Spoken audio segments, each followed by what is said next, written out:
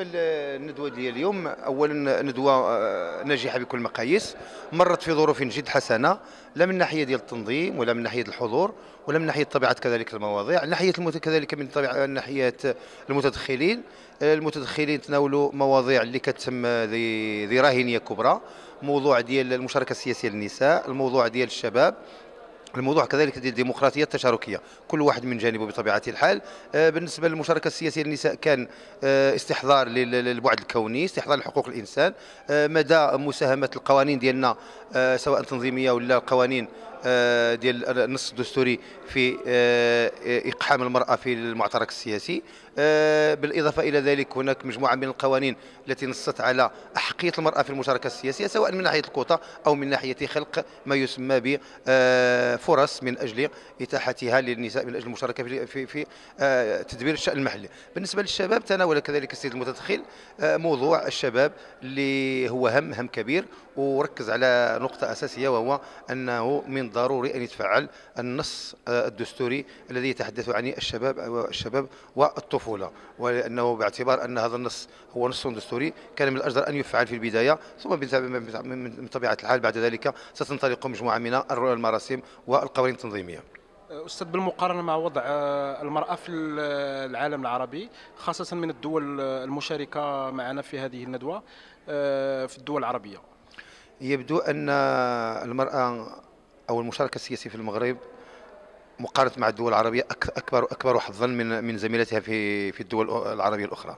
اولا المغرب كان سباق هذه القضية واعترف بأن المجالس سواء المنتخبة المحلية أو الجهوية أو حتى الوطنية يعني تعيش على نوع من الخصاص فيما يتعلق بالتمثيليه السياسيه للنساء.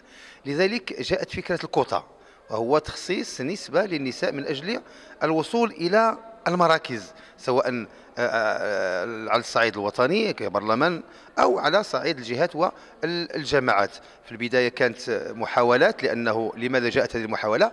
بعد ملاحظة على أن هناك غياب تام حيث لا نجد صفر أقل من 1% تمثيلية النساء بالنسبة للجماعات وهذا لا يبشر وهذا لا يبشر بخير ولا يعني يدعو إلى أن نقول على أن لدينا مثلا مجتمع مدني أو مجتمع حداثي أو مجتمع ديمقراطي حداثي أو مجتمع يعني ينظر إلى المرأة بنظرة بنظرة يعني بنظرة تفاؤلية أو بنظرة بنظرة بنظرة محترمة. أكيد أستاذ.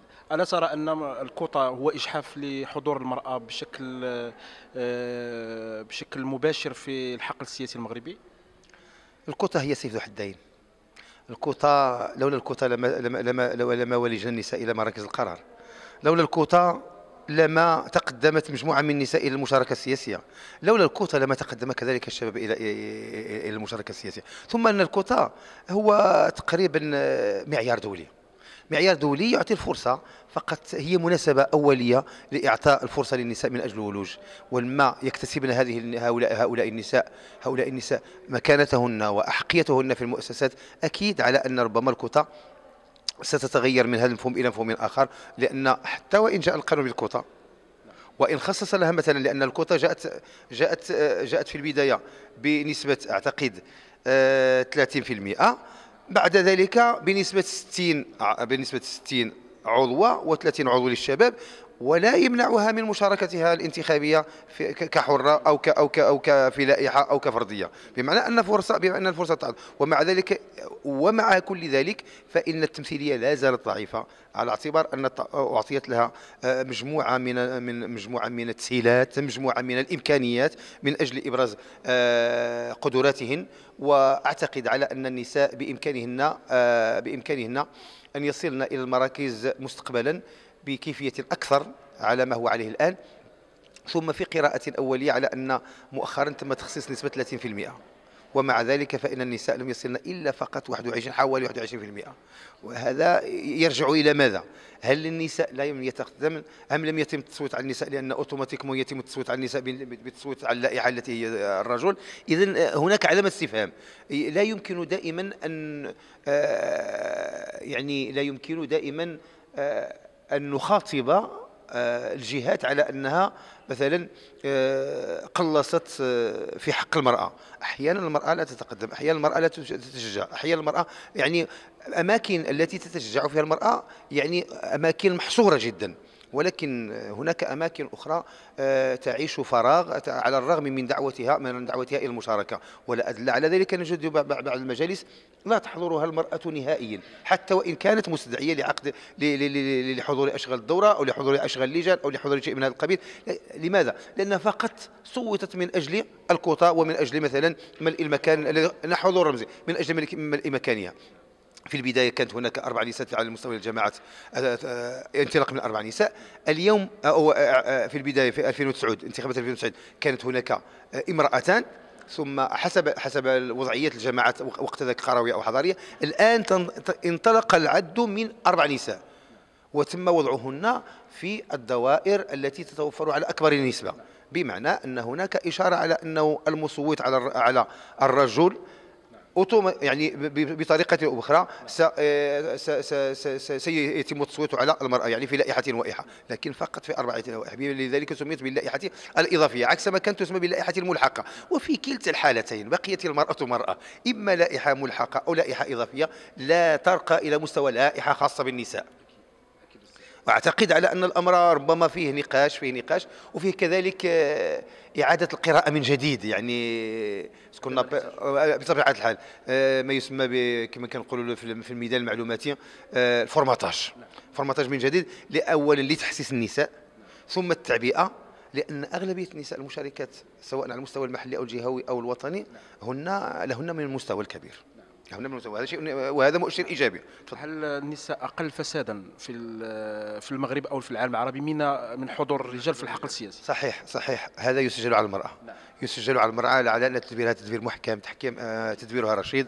يعني لا تعتمد على المحسوبية بل تعتمد على القوانين تعتمد على المساطير وهذا مؤشر إيجابي. لذلك قيل نعم قيل ثم قيل على أن المرأة لما تتولى امرا يعني أمر من الأمور المؤسساتية إلا تحسم فيه تحسم فيه ثم ثم ثم تنجح في في في, تدبيره. تنجح في تدبيره. لماذا؟ لأن دائما تستحضر القوانين تستحضر المساطير ثم تستحمل الواقع بالإضافة إلى المنطق. وهذا ما اعطى لها بطبيعة الحال يعني قيمة مضافة في مجال سيرها بقيه الإشارة فقط على أن العروض كانت ثلاثة آه، الديمقراطية التشاركية. الديمقراطية التشاركية تم تم الحديث آه، حولها فيما يتعلق بمحورين. محور ما قبل الدستور 2011 ومحور ما دستور ما بعد 2011 محور ما قبل دستور 2011 تم التطرق إلى القوانين التي ظهرت في ميثاق الجماعي لسنة 2002 و2000 والمعدل لسنة 2009 والتي تتعلق أساسا بالمادة 36 التي كانت تتحدث أساسا عن مخطط الجماعي للتنمية الذي أوصى بضرورة أن يضع آه، رئيس مجلس آه، مخططا تنمويا اقتصاديا واجتماعيا وبيئيا بنهج مقاربة تشاركية. بطبيعة الحال مع الاخذ الاعتبار مقاربتنا. وهذه إشارة إلى أن المقاربة التشاركية أو الديمقراطية التشاركية كانت قبل الدستور ولو ولو فقط من خلال بعض النصوص. ونعم و ثم المادة 14 التي كانت تتحدث عن آه، امكانيه تشكيل هيئة لجنه المساواه وتكافؤ الفرص وهي إشارة واضحة إلى مشاركة المجتمع المدني في السياسات العمومية إما عن طريق الاستشارة فقط أو عن طريق أخذ رأيها في أمور يراها رئيس المجلس البلدي على أنه على أنه من حقه أن يستشير هذه اللجنة. ووضعت هذه اللجنة من أجل الاستشارة بطبيعة الحال على مستوى فقط ما يسمى بالمساواة وتكافؤ الفرص. لماذا؟ لأن هناك لجنة أخرى تختص في اختصاصه بقية الإشارة كذلك إلى على أنه ما بعد دستور 2011 آه، تم التطرق إلى آه، الديمقراطيه التشاركية من ناحية على المستوى الوطني ثم الديمقراطية التشاركية على المستوى الترابي. فعلى المستوى الوطني تمت الإشارة إلى الفصل 12 باعتباره آه، أو الفصل 13 باعتباره فصلا يتحدث عن هيئات أو عن آلية الهيئات الاستشارية. وهذه الهيئات الاستشارية التي يكلف لها أمر أو أمر إعداد وتنفيذ وتفعيل وتقييم السياسات العمومية. ثم الفصل 14 الذي يتحدث عن آلية الملتمسات. الملتمسات من خلال القانون التنظيمي 64 على 64 على 14 الذي يوصي بضرورة بضرورة اعتماد 2000 25000 25000 موقع. ثم المادة ثم المادة 14 التي تتحدث عن آلية العرائض وهي آلية كذلك تم الحديث عنها خلال دستور 2011 تم تنظيمها بالقانون التنظيمي رقم 44 14 و أوسط ولا واشترطت ضرورة التوفر على 5000 توقيع بالنسبة للعارض بالإضافة إلى الديمقراطية التشاركية على المستوى الترابي من خلال الجهات والعمالات والاقاليم والأقاليم ومجالس الجماعات التي تشترط بطبيعة الحال آه، الهيئات اليه اليات الحوار والتشاور على المستوى المحلي ثم الهيئة المساواه وتكافؤ الفرص التي قيل عنها الشيء الكثير ومدى آه، آه، مدى الفرق الموجود بينها وبين اللجنة. وكلاهما تعد استشارية لكن بالنسبة للهيئة تعد أكثر إلزامية من الاولى بالمقارنه مع الأولى لكونها لا تم التنصيص عليها بالقانون التنظيمي والقانون التنظيمي يعتبر ثاني قانون بعد الدستور لذلك سمي لذلك اعتبرت الهيئة هيئة هيئة ملزمة على اعتبار أن جميع النصوص الواردة في القانون التنظيمي 113 على 14 ملزمة بحكم أن هذا القانون يرد بعد الدستور ثم تعرضت كذلك المداخلة الثالثة والأخيرة إلى آلية العرائض من خلال من خلال المواطنات والمواطنين وكذلك الجمعيات وهذا من أجل بطبيعة وهذا من أجل بطبيعة الحال هذا من أجل بطبيعة الحال إدراج نقطة بجدول أعمال الدورات العادية وشكرا. شكرا.